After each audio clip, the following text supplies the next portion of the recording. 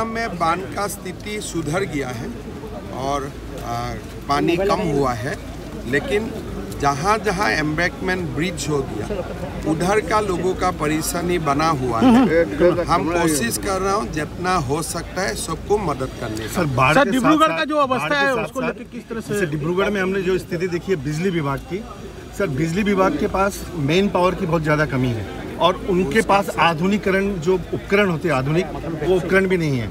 एक पुरानी स्टाइल में पूरी बिजली विभाग चल रही है। मतलब इसमें बिजली विभाग का क्या है क्योंकि छह दिन से डिब्रूगढ़ में बिजली कट थी। ये तो बिजली कटवा के रखा गया है ना? जी लोगों का जान माल का नहीं जो सर्विस मिलनी चाहिए जैसे रीस्टोर के लिए वो नहीं मिल रही थी वो ऐसा बात नहीं है।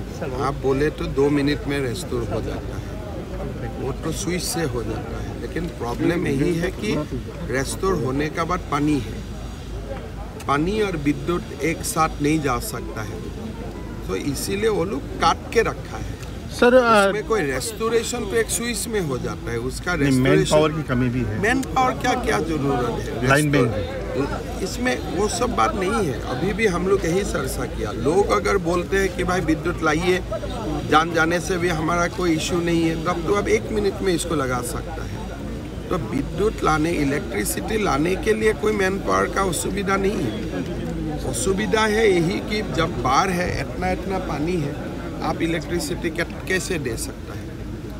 सर डिब्रूगढ़ में जो बाढ़ की समस्या जो हो रही है उसको लेके सर किस तरह क्योंकि सभी रास्ते जो है भरे हुए हैं। देखिए डिब्रूगढ़ में जो अभी का बाढ़ है मैंने जाके देखा इशू गार्बेज क्लीनिंग के लिए है। दोनों तरफ़ बिल्डिंगें हो चुका है इक्विपमेंट नहीं जाते हैं गार्बेज क्लीनिंग के लिए सो ड्रेन क्लॉग हो चुका है।